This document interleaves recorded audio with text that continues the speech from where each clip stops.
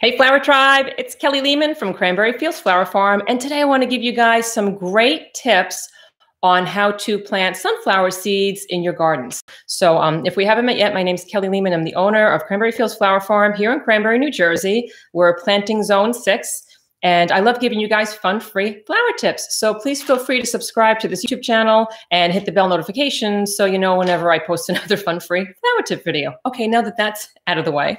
So a lot of you have asked me tons of questions about sunflowers. We grow a ton of sunflowers here at Cranbury Fields Flower Farm, and we grow a huge variety of them. So we grow like really super tall ones, and we grow the beautiful ones that you see in the bouquets that like we ship nationwide, and we grow the little tiny like chubby teddy bearish ones that are like just adorable. So we grow like a ton of different ones. We grow ones that are branching that have like maybe like five or six or seven different sunflowers coming off of one stem. That's called a branching variety.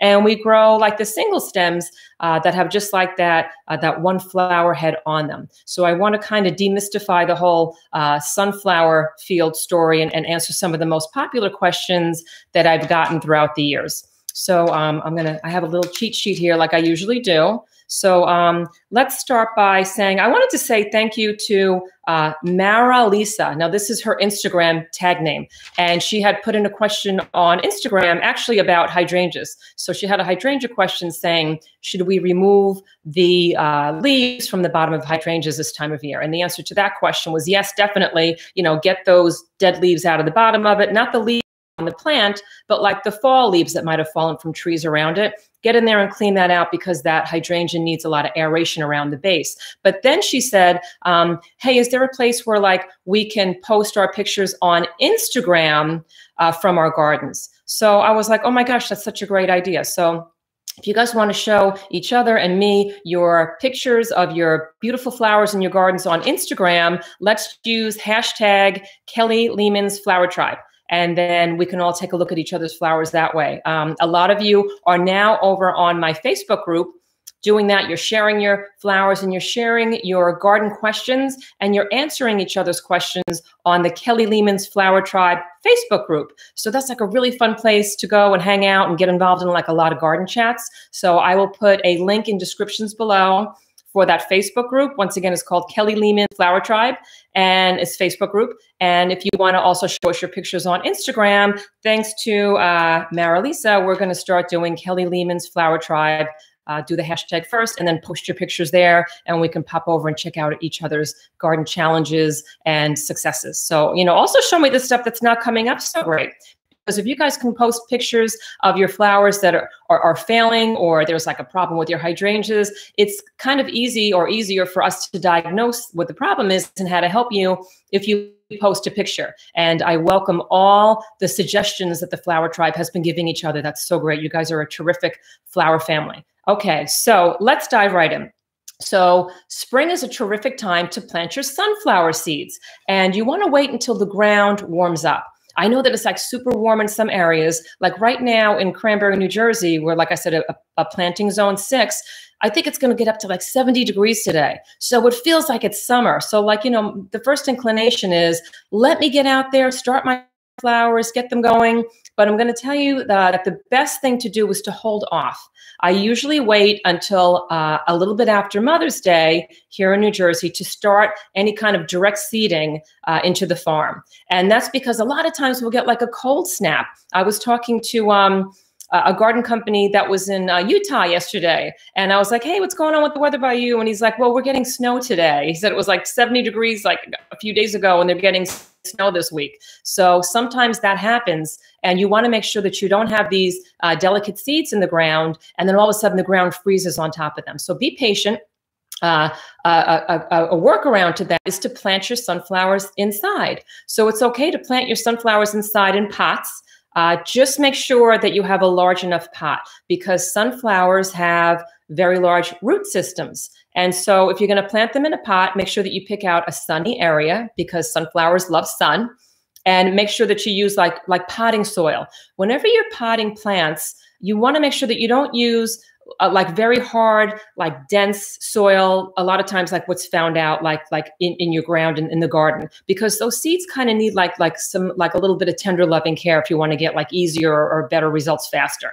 So I would use some potting soil. Uh, make sure that your you know your pot is is large enough to plant your seed and then you just kind of like poke a hole in the middle with your finger it's like not like not an exact science and usually sunflowers are planted like um, about an inch or two deep uh, but you want to take a look at the back of your sunflower packets because there's so many different varieties now and that packet should tell you you know exactly how deep you should plant it and how far the spacing should be.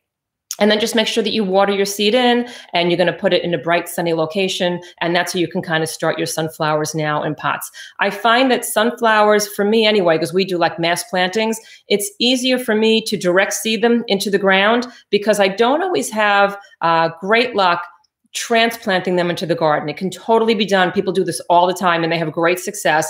Uh, but for me, like when you're when you're like transplanting like hundreds and hundreds of sunflowers, it's just easier for me to wait a little bit longer and just kind of direct seed them right into the ground. So, and when you direct seed them right into the ground, it's the same system. Sunflowers love sun, so you're going to find a sunny place in your garden. Full sun is the best. But if you have a place that gets, uh, you know, like I don't know, like like a lot of sun and then maybe some afternoon shade, that should be fine also. Uh, and you're going to find a spot that has well drained soil.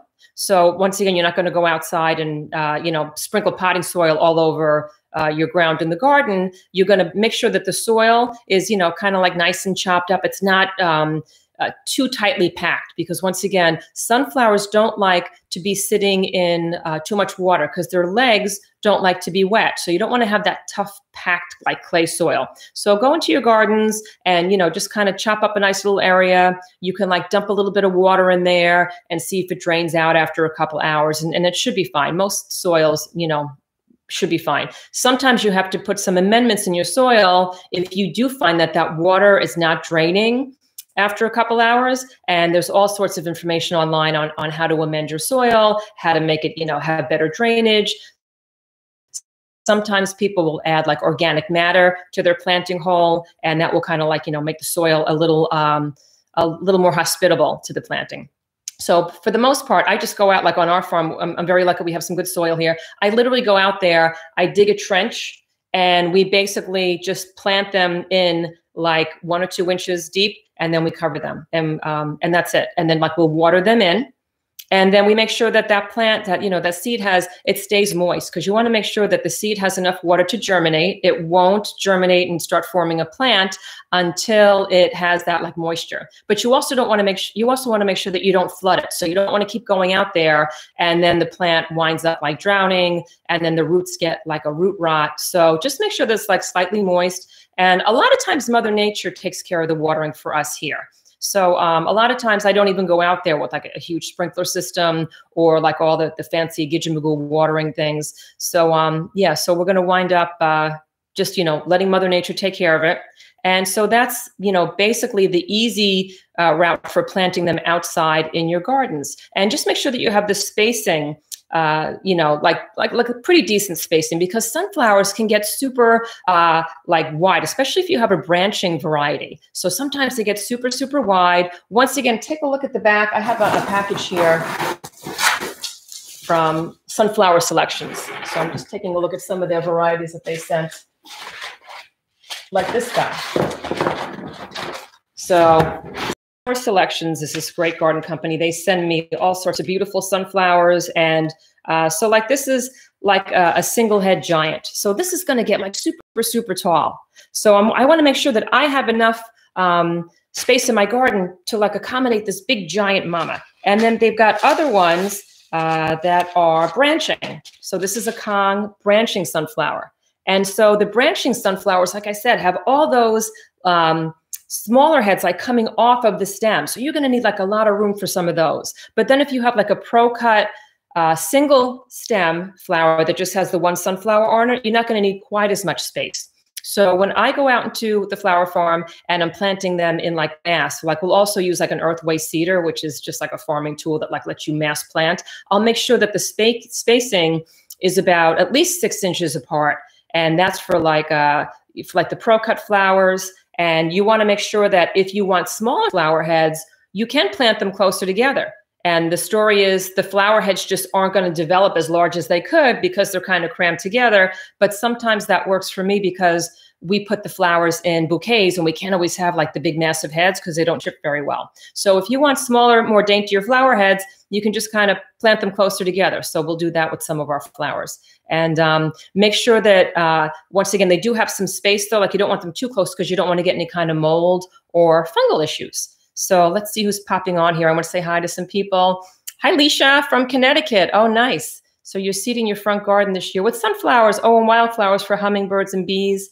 I'll figure out uh, what to put there. Yes, I love that idea. And I love, Leisha, that you said that you're planting uh, flowers for pollinators because we're having a real issue with our um, honeybees and, you know, the bees that pollinate all of the fruit, the fruit crops and the vegetables. So we're having a problem. Uh, I think it's, I think it's actually worldwide with not having enough bees to pollinate our food. So if you can set up in your garden uh, pollinator plants, that would be amazing um, bees, hummingbirds, uh, butterflies, uh, all those pollinators love sunflower. So that's a terrific flower to have in your garden. I know that I grow a ton of uh, zinnias and I grow a ton of celosia and uh, butterfly bushes. So those are all great pollinator plants. And some people even put in what's called like a pollinator garden. And then you can go out there with like your kids and your grand- grandkids, and you're out there, and it's just like this amazing show every day of like honeybees and bumblebees and butterflies and uh, you know, like hummingbirds. It's like a really amazing thing to have. So consider uh, putting in a pollinator garden if you can, like a little section of your garden, because that's really just spectacular. Uh, let me see who else is here. Um, hey, John. Oh, from Brick, New Jersey. You're super close. And who's here from Mount Pleasant, Michigan? Oh, I'm, I'm glad you like my site. Thank you, Sue. My daughter went to University of Michigan. Great state. Uh, who else is here? Hey, uh, hey, Van and, Tom, and Tammy Long. Uh, you've been dying to ask for planting branching sunflowers. Oh, super question. So Van and Tammy Long asked, um, I've been dying to ask if you plant branching sunflowers, do you have to plant them in succession? So for those of you that might not have heard of succession planting, that's when you'll plant like um, like a few sunflowers one week and then you'll wait like say like a week or two and then you'll plant some more and then you'll wait like four weeks later then you'll plant some more and you'll you know so on and so on and what happens is you'll wind up having a continual uh, display of color in your gardens because sunflowers for the most part or what I call like the one and done flowers. So once you get that beautiful bloom, or in the case of like branching sunflowers, you'll get like a whole bunch of those blooms. Once those blooms on the sunflower are done, that's it they're not going to rebloom. So like zinnias are, you know, repeat bloomers. So when you have zinnias in your garden, you can just deadhead them and another flower will pop up and then you'll deadhead it and another flower will pop up and that will happen for the entire like, you know, summer season into fall. But with sunflowers, once that head is gone, that's it. But if you do the succession planting, which I'm so glad you brought that up, you'll have, you know, like your sunflowers will come up, they'll go into bloom, and then uh, that's it. That's it for the season. So you can either wait for them to like kind of droop over and then collect the seeds later on in fall, or you can cut them back. But then the next set is going to wind up, you know, blooming. And then the next set's going to wind up blooming. So I usually leave my sunflowers that, you know, are spent that we didn't use for our bouquets. I'll leave them in place in uh, the farm in the garden for the birds to eat. And what happens is they'll wind up eating my sunflower seeds, which is great because then they'll leave the rest of my secret garden alone because sunflowers are packed with those big, beautiful sunflower seeds. And then the rest of the seeds that we have left over at the end of the season, I'll wind up harvesting. And it's super easy to harvest sunflower seeds. Um, I have a video, uh, and I'll, I'll link it later. I forgot to link it on this one, but it tells you how to plant, grow, and harvest your sunflowers and the seeds. And the story with harvesting sunflower seeds is you can wait until your seeds, so like the flower head kind of droops over, it's going to get kind of like um, like a brownish yellowish on the backside of that big flower head.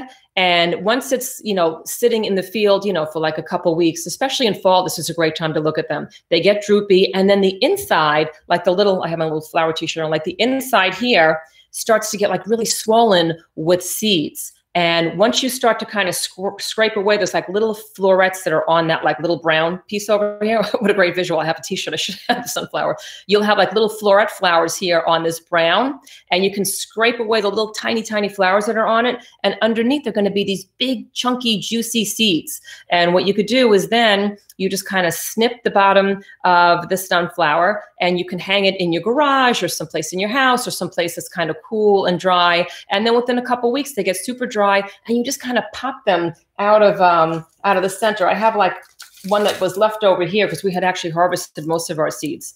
And these guys, I just kind of pop them right out. So they kind of each of these is like a flower. So each of these seeds I can just pluck out. This is from last season, so they're nice and dry. And let me try to not ruin my computer by doing this over them. But each of these is like a sunflower seed.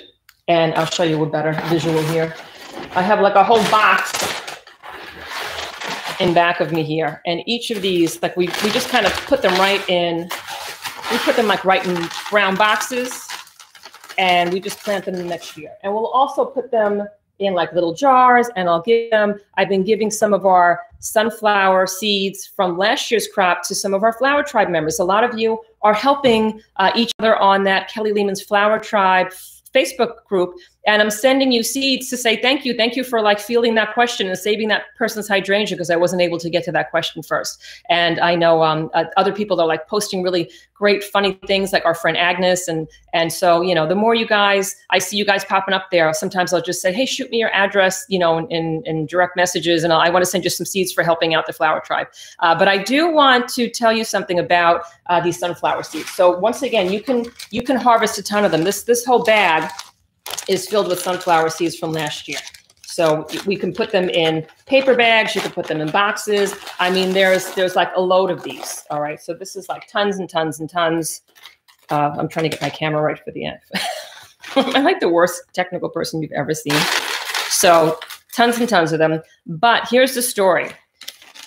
The flowers that come up in following years from the sunflowers that you've harvested are not going to be true to um, the flowers that you put in the ground. So, like I was saying before, I have a friend, his name is Tom. He's over at sunflowerselections.com, and he sends me like magnificent seeds. When I harvest my sunflowers, you know, from a field, they're not the same as the ones that I put in the ground. And that's because all the birds and the pollinators and the bees did cross pollination. So that means that they took like different characteristics from each of my sunflowers and you know, it's almost like they form like a brand new flower when I'm getting these seeds. So if I wanted to get that magnificent, like pro cut orange, perfect flower that you'll see in bouquets, I'm not going to get that uh, the following year. I'm going to get kind of like a mishmash flower. Most of the time, they're super pretty, but if like there's particular sunflowers that you love, you should definitely buy fresh seeds then. And uh, once again, sunflowerselections.com is great because the sunflowers that we grow, that we like to ship, that we like to put in our bouquets, we need them to be spectacular. So a lot of times, uh, you know, we'll get our seeds from them for like the i guess like the prettiest sunflowers and then the ones that we put back in the ground that we kind of harvested ourselves listen they're pretty too and they're super interesting but sometimes it's really funny like i'll get a sunflower that's like half red and half yellow, or it's got like all these like, you know, crazy like red stripes coming and orange stripes coming. So it's it's super fun, I think, for a lot of gardeners to do that. But know that if you want that true sunflower that you you know originally fell in love with, just you know buy some new seeds each year. I mean, they're not you know they're not that expensive, and you or you could do a mishmash. You could do like half and half. So uh, and once again, you know, I mean, the people at Sunflower Selections are terrific. Uh, this isn't a paid advertisement by any means, but when I find a garden company that I love, uh, I like to promote them. So I put their link below. I know a lot of you are buying your sunflower seeds now, so they're just uh, one, you know, like a terrific sunflower company. And he's and Tom's always answering questions for me. So I had asked him a while ago fertilizer for sunflowers like you know what do they like a lot of people you know were asking what, what do i put down so for the most part i don't use a ton of uh, fertilizer in uh, my flower farm. Like I said, we have really good soil here. We used to have a ton of horses, and my neighbor has horses, and they come over and visit and graze. So we had a lot of like very like compost rich, manure rich soil to start with. So for the most part, I don't use a ton of fertilizer. However, sunflowers are heavy feeders. Like they like to like absorb a lot of those nutrients. So uh, some years i'll find that the sunflower production is not as great as it as i would like it to be. And tom's recommendation was to apply a 10 20 10 mixture for your fertilizer. So um, so it's like the nitrogen the phosphorus and the potassium. The middle number is your phosphorus. And that is usually what's in charge of giving you like like good blooms and so um, that's why that number is a little bit higher. So he recommended 10, 20, 10. And there's the sunflower grower in uh, my town that also says, I like the 10, 20, 10. Uh, so if you can't find 10, 20, 10, I don't know. I guess you could, you could try the 10, 10, 10, but you might just want to try your first set of like if you're doing succession planting see see how they come up i mean if the flowers come up great you don't want to over fertilize so you know and i'm a really big fan of you know less less is more so you know that the more you leave nature alone the better your results are probably going to be so let's see who else is here uh Gina, you're from Connecticut. It's too early. Oh, it's too early to plant. Yes, I know. I'm sorry. I know you get like so excited you want to plant. Well, you could plant them in the house. Uh, I just find that when I plant them in the house, I don't take very good care of them. Like I'm just, I'm the, like the, I'm a very bad uh, planter of pots gardener. That's like a, a tag. I'm, I'm, so much better when I, I get them in the ground. They're all happy, and then I water them, and then they come up. So I'm kind of like a no fuss. Um, let me see. So Ashley Vibes, uh, like am saying your name right? Ashley Vest, from Florida. Okay, so your video got me inspired to grow sunflowers. Oh, I'm so happy to hear that. You planted them on the 6th of April, approximately. Oh, but you're in Florida, so you're you're all set. You're all set, my friend. How many weeks does it take to germinate? Good question. Sunflowers, in my mind, take a lifetime to, to, to like to come up, uh, which is not true. It, it takes a few weeks to actually see the sprouts, and they do take a long time. Like I'm, I don't have exact numbers in my head. I'm going to say sometimes they take between like maybe 50 and 65 days to like get into a full plant. Does anyone know if those numbers are right? this is like from my old memory. I just know that they take a really long time. So they might take a few weeks to germinate and you'll see those sprouts. And when you see those sprouts, that's the time that the critters love to get them. So what you might want to do is kind of sprinkle some cayenne pepper around them or some Irish Spring soap shavings. We did a whole video, a live video on that like two weeks ago, how to keep the critters out of your garden. You can check that out. That's like on the, the channel here. Um, or sometimes people will take like chicken wire. And if you have like your sunflowers in like this one, you know, spot, like I don't know, like an area like this, they'll put like little posts, like little bamboo posts or like little wooden dowels or wooden posts, and then they'll lay sun, uh, they'll lay the chicken wire on top and surround the sides with it, and kind of just you know anchor it with like a zip tie, and that should keep the critters off of the sunflowers while there's still those sweet tasting sprouts. I don't know if you guys have ever had a uh, salad that has sunflower sprouts on them and they're so sweet and they're delicious. Well, that's the same thing. This is what the animals want. But if you can put that chicken wire, say if like your sprouts are here and you could put the chicken wire up like maybe like a foot or two, by the time they get tall enough to like that one foot, you know, growth, I don't think they're quite as sweet. So chances are uh, the animals may leave them alone. But listen, if animals are hungry enough, they're going to go after them. So it's not like, you know, like a, a no fail, but it will help deter them for a while. So that's the story with the sprouts. Um, let's see. Okay, so Mr. Rogers Trolley, I'm having good luck with liquid fence. Yes. Okay, get the one with green squeeze handle. The other one clogs. Oh, super tip. Thank you. I have to say, I like liquid fence too. I think it smells really bad, doesn't it? But it smells really bad and it keeps um, the deer away. We've had good luck with that. Uh, so that's a terrific tip. So yes, thank you. And thank you guys for giving us, you know, these tips that they're constantly coming in and it, it makes people from all around the world better gardeners and it helps like, like thousands of people grow better flowers. So thank you for those tips. They're like absolutely amazing. Um, let's see, uh, Robin Jones, deer looks uh, to eat my Annabelles. I know, me too. Yep. So the deer age animals down to one foot. The same thing happened to me.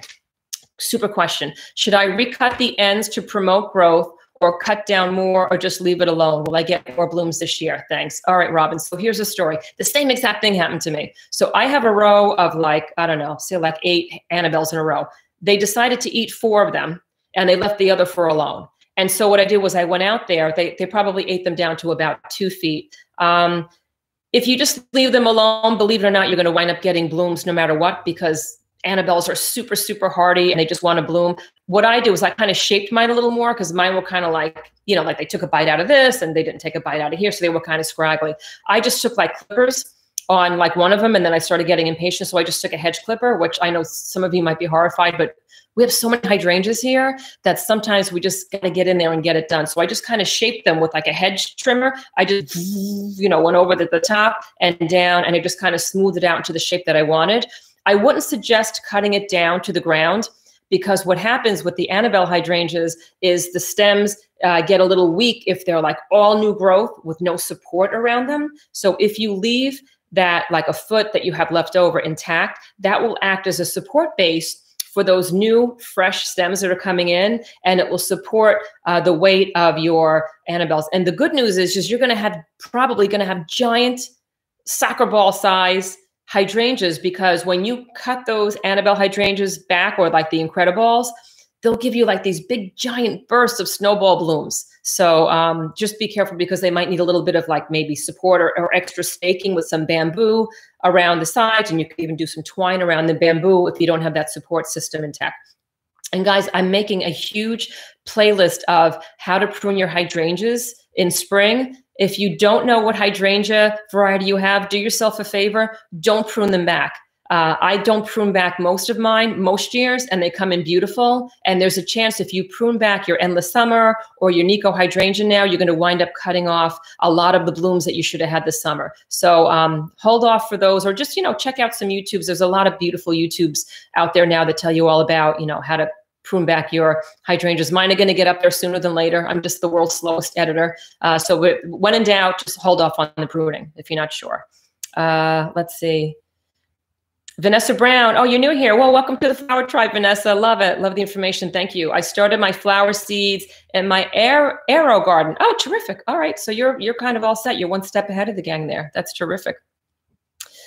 Okay. Uh, Skeletal Steve, I love that. I'm new to planting, and your video on celosia was awesome. Thank you for that. Uh, thanks for the information. So, can I plant some for my wife? Yeah, you can definitely plant celosia for your wife because she's going to love you for that. Uh, same thing with celosia, zinnia, all those flowers that you kind of saw. You know, the planting videos that I have on this channel. I usually it's this, it's almost the same planting instructions as far as uh, find a sunny location, make sure that the soil is well drained.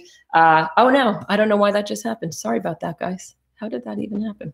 Oh, why am I, my whole screen just like winked out. Uh, does not like to be planted deep. And so, oh, I have celosia seeds here. I can't believe this. I never have the stuff that I, I am always like, I wish I would have had that to show them. I went into my flower barn before and I just, just kept grabbing stuff off the shelf. I'm like, do I need this? These are celosia seeds. So I label them this is uh, 2020 seeds. And this is what celosia seeds look like. This is so cool. They look like pepper. They look like little like fairy flakes. So check out how tiny these seeds are. I'm going to try to get as close as I can. I'm going to hold my hand up better. Once again, I'm such a bad, where is, I don't even know where the camera is on here. Do, can you guys see this? the worst. Anyway, let me try to like sprinkle it down. Are you guys getting the gist of this? Where is the camera on this thing? I have no idea. Oh, let me just hold the whole thing up here. Here we go. All right. You can teach an old dog new tricks. So each of those little tiny pepper flakes is a celosia plant. So what you're going to do is when you plant your celosia in the ground, you're going to kind of fluff up the soil you're going to sprinkle these because it's impossible to plant them one by one. It's literally the size of pepper flakes. And I kind of like scatter them down and then I cover it very, very loosely with either some super, super fluffy like potting soil uh, or, or some sort of like a, a like a planting mixture that's super, super delicate and light because they do need to be covered otherwise they won't germinate there are some seeds believe it or not that you don't have to cover with with uh, soil they, they need the sun to germinate. But most seeds need to have that little covering of soil and then some water to germinate. But if you plant these like an inch deep, there's a good chance they're not going to come up. So celosia, plant with just a little sprinkling of that soil on top. So that's awesome. And celosia, oh my God, don't even get me started. To harvest these guys, it's so fun. Like you basically wait for the plant to dry, kind of like we did with um, the sunflowers. They dry in the field. Uh, you go out there in fall, you snip the flower head, and you shake it, and then all these like thousands and thousands and thousands of seeds come popping off the plant. You have to have like a box underneath you to catch them all. And then each of these is a brand new celosia plant. So same thing though, guys. When I plant these gals in my garden from last year, uh, they're not quite as beautiful and spectacular as the ones that you're going to get from the garden companies. So I'll always do like maybe like half and half. I always uh, plant extra seeds from like some of my favorite garden companies. And thank you to, uh, to like some of the, the, the companies that are, have been sending us uh, are the seeds. I think one was like restoration seeds and burpee seeds. And you guys send me a ton of beautiful uh, seeds each year. So if you want those true, true, beautiful celosia, get them from your garden centers or these garden companies. But then it's really fun to like, you know, plant your own also because they do come up and they're super pretty. All right, so that's the story with that. And I also have, let me see who else I have in here. Oh, I wanted to show you this terrific trick. When your sunflowers uh, are in like that harvesting stage, like in fall. Now I have like 10,000 celosia seeds. Sheldon's going to come in here and be like, why are there seeds all over this chair in our room? Sunflower stems dry out and they make terrific firewood. So I have a whole bunch of dried out sunflower stems. And I, oh, good, the whole box of seeds is going to fall on me now. And then it's. Oh, my. So these are all sunflower stems. And you could tell, you know, they're white, they're dried out. I basically tied like a little bit of twine around each of them. So it's almost like a little fire starter kit. So I'll have like five or six of these and and boom, you have like great fire starters to put underneath um, you know the the logs and the paper in your fireplace and it's just super fun and it's kind of good to get these out of the garden because i think sometimes they give off like I don't know, some sort of like stuff that some plants don't like. So if you can kind of harvest those out in fall, and you know what's a really cute gift idea is to take like, you know, like one of your like the seeds and put them in like a little jar and you can do like a really cute label. And um then you could put like some some fire starter sticks and you could put them in a basket as like a gift basket and you know for a friend with like some honey and like a candle and it's like just like a super like thoughtful gift because it comes from your garden so sometimes those are like the best kind so let's see who else is here. You know what I did? I also brought my glasses today. Oh, no, I didn't. I thought I brought my glasses. Oh, I did bring my glasses. I'm sitting on all my props over here. So let me just clean these bad boys. Show you my granny glasses. Oh, this is so much better. Okay. Oh, no, I'm lying. This is not better. this is worse. I know. I wish I could show pictures too. So here's the story. I have pictures of like all these flowers, like on, you know, like on the playlist. So if you kind of scroll through, um, you know, the Kelly Lehman channel, you'll see like all the celosia, you'll see the zinnias that I planted, all the sunflowers that I talked about. I just, I don't grow these guys yet, so I didn't have them here. And the ones at the store, I don't know, some some of them, like I, I took a look yesterday, but I didn't love all the stuff that was there. So I'm sorry. Sometimes you got to work with what you got, but I, I do agree. I wish I had the, the flowers here too. Uh, Betty Hansen. Betty Henson said, I've collected the seeds from my dwarf sunflower from last year. Will the new plants from them be dwarf? Excellent question. So um, I don't know. I have a feeling no. I don't know if dwarf varieties are, um, if they're like, you know, sometimes there's like a more dominant uh, variety. So I don't know if the dwarf ones are going to be, you know, if that's going to be the dominant characteristics. I guess you'll see. But I do love the dwarf varieties. They're super cute. They're like short, like two, three feet. So they're super. Um, hey, rooftop gardening with Incha. Say hi to everybody. Uh, let's see. Hey, Josie, Keating, and Vanessa. So Vanessa says, uh, I'm new here. Welcome to the Flower Tribe. Love the information. Oh, I'm, I'm, glad that you love it. So I started my sunflower seeds. Oh, we, we talked about you before in your AeroGarden. Okay, that's terrific. Let's see who else.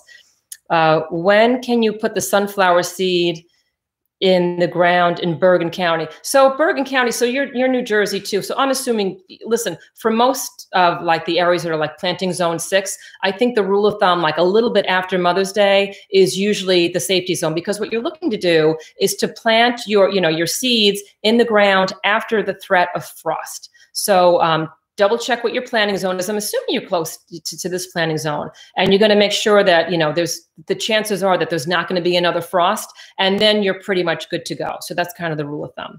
And let me see what else I have here. I want to say uh, just a few more things about uh, the pollinator, you know, gardens we talked about, which is super. Um, oh, also guys, when you're harvesting, oh, coffee time. Anybody have a cup of coffee? we have to take a break because I have like a frog in my throat. So coffee time, quick, grab a quick swig. I have celosia seeds in my coffee right now, so a little protein there. When you're harvesting your sunflowers to put them in like a vase in your house, it's a really great idea for extra vase life to wait until like the petals just start lifting up. So if you cut the sunflower out of your garden when it's in that beautiful, like full blown open stage, like, you know, on my fancy t-shirt here. So if it's in that full blown open stage, chances are you're only going to get like a couple days out of a vase life from it. But if you can cut it as those little yellow petals are just starting to lift up from like that, that middle disc, then chances are you're going to have it for like a week or a week and a half. So cut them when they just start to lift up, like you'll see like one or two start to lift up. You'll give it like a diagonal cut and you'll put it in some fresh water and you'll put it in your house away from direct sunlight and you'll have that bloom for like a week, a week and a half, maybe even two weeks. So um, another question that I get asked often is, you know, I received sunflowers as a gift, you know, like an arrangement came in the mail or arrangement came like, you know, from a friend can I use those seeds from those sunflowers that are, you know, in this beautiful arrangement and can I replant them next year? So for the most part, the answer is no, because those seeds haven't matured yet. So what's going to happen with that flower, that sunflower, is it's going to, you know, have a vase life and then eventually it's going to fade away. But since the since that flower is not planted in the ground, it's not continuing to grow and develop and mature. So those seeds inside that cut flower, that's kind of like it, like it kind of stunted its growth. So those seeds are never going to get big and thick and plump and juicy, and they probably will not give you sunflower seeds that following year. So uh, let's see. So uh, Rebecca Lovell. Oh, what a cute name. I love Lovell. Miss Miss Lovell. Joining from Illinois, Zone 5. Welcome, welcome. Let's see who else is here. From Virginia. Oh, I love that you guys are telling me where you're from. Hi, Hugh Trong. I remember you came, you joined us a couple weeks ago. Nice to see you again. Um, see who else is here. I'm trying to catch everybody before you kind of disappear. Xavier Sanders, hi. Did I say your name right? I hope I said your name right. I'm sorry when I botch your names. Uh, da, da, da. Oh, this is interesting. So Ray55 Root said, thank you. That's so good to know about the sunflower stems. Our main source of winter heat is our wood burning stove. Oh, that's terrific. Where are you from? Well, I'd love to know where you guys are from. Mexico. Hi, Estella. Nice to see you. Wow. I love that you guys are all over the world. That's so fun to me. So let me check my little cheat sheet to make sure that there's nothing I left out here. Guys, if you have any questions, ask them now before we wrap up. Uh, da, da, da. Oh, some people have asked me, do you have to stake sunflowers? So I don't stake my sunflowers. Um, they're in the field. And since there's like thousands of them growing together, I think that kind of provides like support. And it's also in an area that doesn't get a lot of wind. So if you can kind of find a place to plant your sunflowers uh, that's either like, you know, like has like the house to protect it or like a fence to protect it, or it's not like a really windy area, that's going to help it. Uh, if you, if you, the only place that you have to plant it is in kind of a windy area, give it a, give it a shot. But those uh, sunflowers you might need to stake if they're in like a windy area, and that's super easy to do. You could just put some bamboo stakes around them, like you could find these at like your garden centers or you know Home Depot or Lowe's, and you put some stakes around them, and then you could just take some twine and then just kind of wrap it around, you know, like the whole bunch of them, and then when they go to sway, instead of dropping to the ground, that twine's going to kind of catch them and will kind of just give them some extra support. And sometimes um, with the giant mammoth ones, you're probably going to want to stake the giant mammoth ones because they're like 12, 15 feet tall. And oh, a super fun project to do. Uh, one of my King cousins sent me this. My, my maiden name was King. And my dad had, uh, he comes from a family of 11, like big, you know, Irish Catholic family. So I've got like all these cousins all over the place. And every now and then a king cousin will like send me like this planting tip. So one of my king cousins sent me this great tip. It was a sunflower uh, house that was formed by growing like some of these mammoth sunflowers in like this giant circle. I think, I don't know, maybe it was like 20 feet, you know, around. And what the, the people in this blog did was they then took the flower heads and they kind of connected them together with like you know twine or some sort of like you know string or rope and they wound up making almost like this like like a hut. And then they showed like their kids like playing inside this sunflower house. So how great is that? I'm going to try to do that this summer.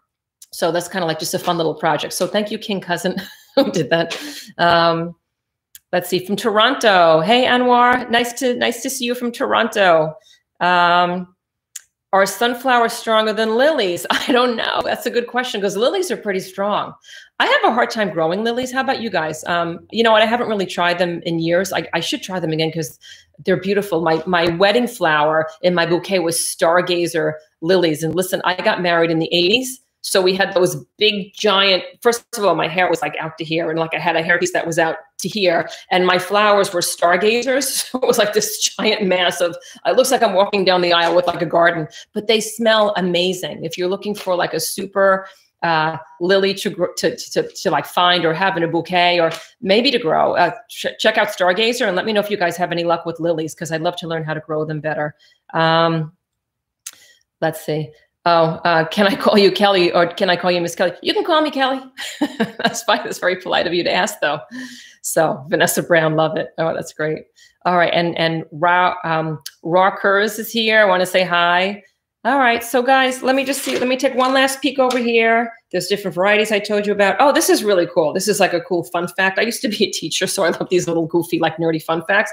So, do you guys remember? Um, uh, heliotropism from like school or like the SATs. So heliotropism is when like a, like a flower will like track the sun. So in my sunflower field, I'll go out there in the morning and when they're when they're young, when they're just starting to kind of, you know, like just like come up and, and form their their flower heads and they're just starting to open. And this is especially true with the smaller varieties, not the big giant mammoth ones, but the smaller varieties, they're all facing east when the sun comes up like all of them. It's like this army of sunflowers, and they're all like at attention. They're all facing the sun.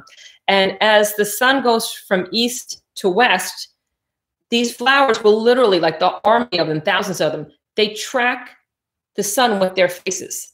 So you'll see, like if you go out there like at dusk, you'll see all these beautiful thousands of sunflowers. All their heads are now facing the west. It's like mind blowing. Uh, and then you wake up in the morning and you go back out to the field, and this army of sunflowers is now facing east again. It's like you're like, wow, did that really just happen? Uh, but it's really true with the smaller varieties. Like the larger heads, I think they're just it's just too heavy for them to do all that work. Uh, but check that out. So if, if you have one of these gardens where you're you're teaching your kids with, or you're out there with your grandkids, it's a really fun thing to show them say hey let's let's you know let's check this out throughout the day and see if, if this if heliotropism is happening and then you can help them get into a great college because now they know another sat question. So all right let's see what else. Um, Oh, Anwar, you said love love the channel. Thank you so much. You mainly came to the channel to gain knowledge on hydrangeas. I'm glad you said that because I have to tell you guys, I love flowers so much, but hydrangeas I am so partial to that my goal is to be like this, uh, like a specialist in hydrangeas, sunflowers, and peonies. So those are my go-to go-tos, but I do have to say I love zinnias and celosia too. But hydrangeas or and peonies or and sunflowers are like my three major ones and I'm trying like each week to learn more and more about them so I can give you guys more and more tips and then you guys can grow more and more of them in your own gardens. So it's like a win-win. But um, all right, so once again, please hop over to that Kelly Lehman's Flower Tribe Facebook group.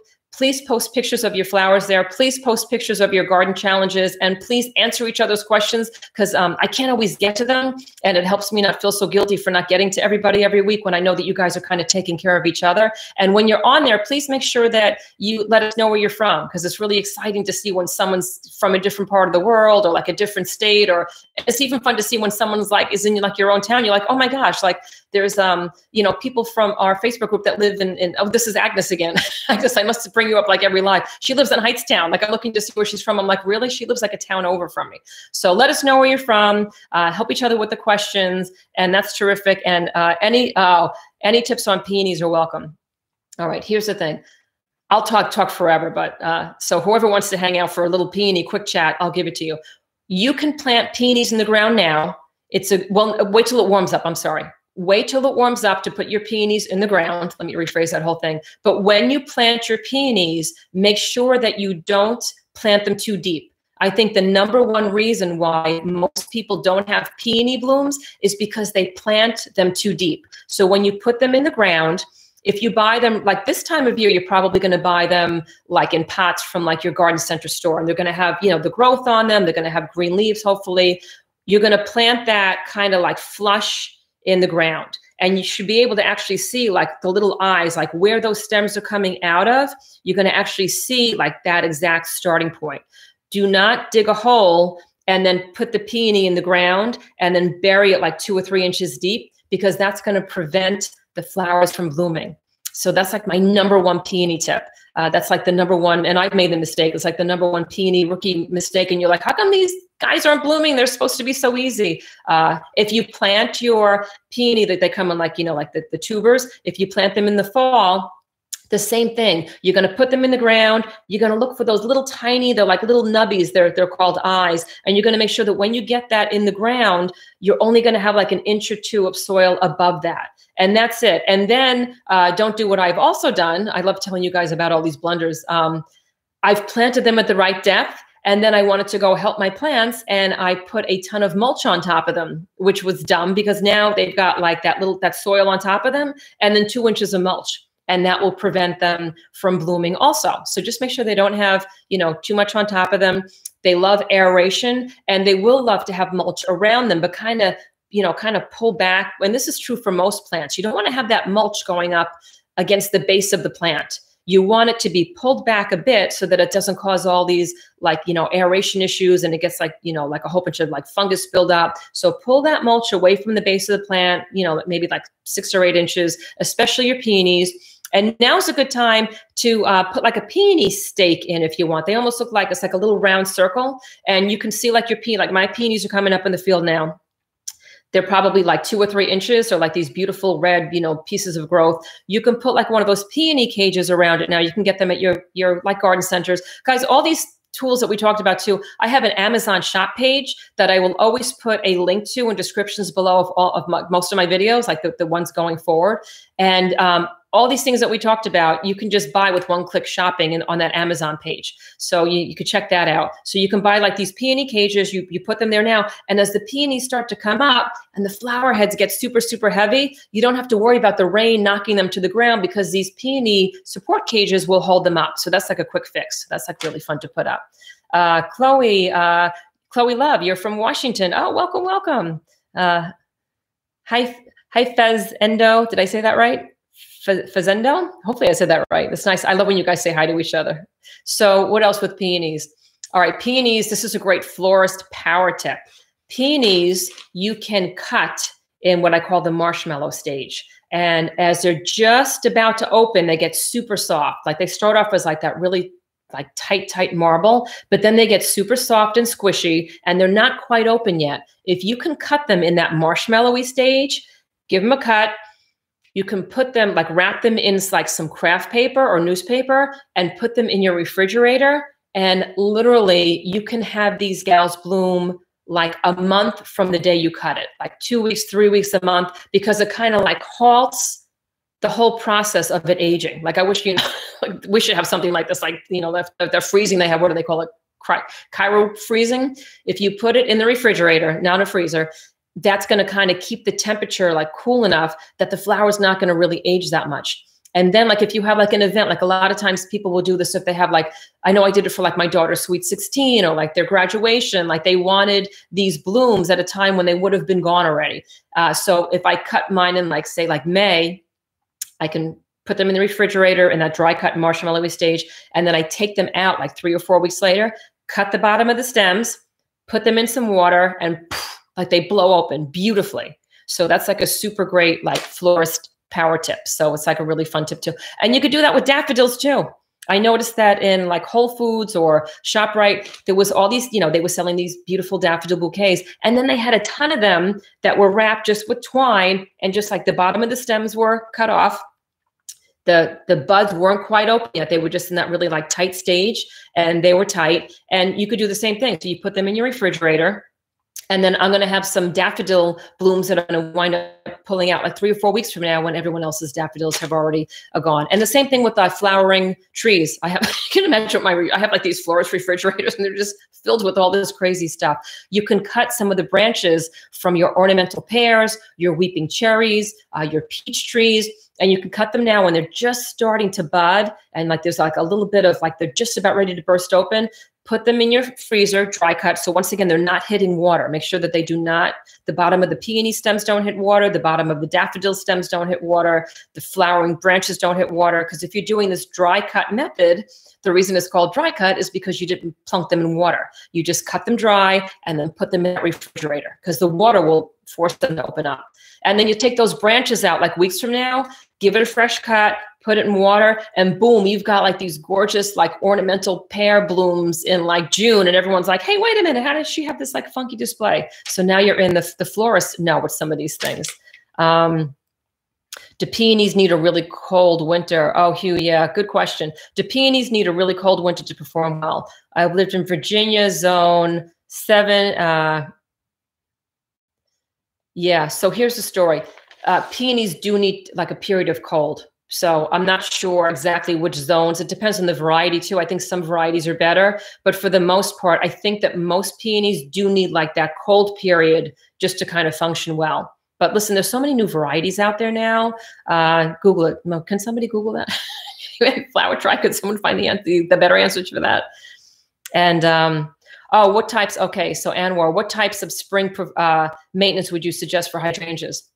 Uh, spring is a great time to add organic compost around the base, and that kind of gets the soil kicked up and ready uh, for you know to like allow those nutrients uh, to be transported to the plant better. And spring is a great time to also fertilize your hydrangeas. But like fertilization is like a whole nother, like that's like a whole live. It's like there's so many different, there's so much information out there on, on um, fertilizing your hydrangeas that I would rather just save that for another one because I don't want to give you false information. But I do have to say this I don't use that much fertilizer on my hydrangeas, and we've got hundreds of them here.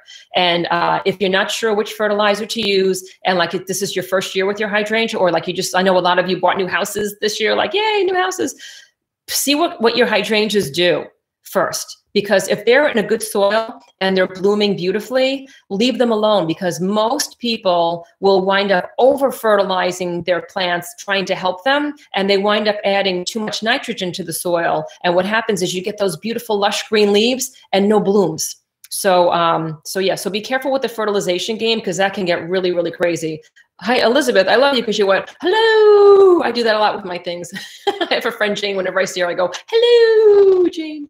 So yeah, so that's the story with um with the fertilization. Just I, I know I'm, being evasive with the exact fertilizer to tell you to get, but that's going to depend on your hydrangea variety, what your soil is like, uh, and so forth. But I would see first if you can get away with no fertilizer, because that would be key. Once again, you know, super easy, and you you won't you know add too much to the plant. So all right, Ray 55 Roots, you're out on Long Island. I grew up in Sayville, Long Island. Wow, New York girl. Yeah, all right. Wow, that's so fun to see that. All right. So listen, guys, I'm going to take off. I'm uh, picking up my daughter uh, from the airport right now. Yay! Love when the kids come in from uh, from college. So uh, I'm going to keep this. You know, I'll put this live. I'll repost it in case you you came in like late, or in case you want to rewatch it. And um, if you want, check out some of those other videos. I have a ton of videos on how to um, get your hydrangea to bloom. I've got videos that say like, why aren't my hydrangeas blooming? Uh, the the number one hydrangea video that I have that gets the most views is how to get more blooms from your hydrangea. And we have over like a million views on that. And I think there's like 1,600 comments on that video. And it's just, you know, Flower Tribe members. And we're swapping tips and, and giving like, you know, online sources to go to and check it out. So how to get, uh, I forgot the name of it already. how, how to get more blooms from your hydrangea. So check those out. I'm going to link them below. And there's also tons of sunflower tips. And I'm going to add a lot of peony tips uh, this season. So um, thanks again for joining everybody. And I will see you all in the next video. Oh, and jump over to our Cranbury Fields Instagram page and say hi there too. I love when you guys hop over there and say, hey, I just saw you live on, on um, YouTube. It makes me happy. And uh, I, I, love to have you guys join us over there because we have a whole different group of uh, like you know tips over there and different pictures and i do a monday inspiration. So i would love to see you on our cranbury fields uh, instagram channel too. So i'll see you guys there and i'll see you on our kelly lehman's flower tribe facebook group. Okay that's a mouthful. Have a great weekend everybody. I'm going to go get jill. Okay bye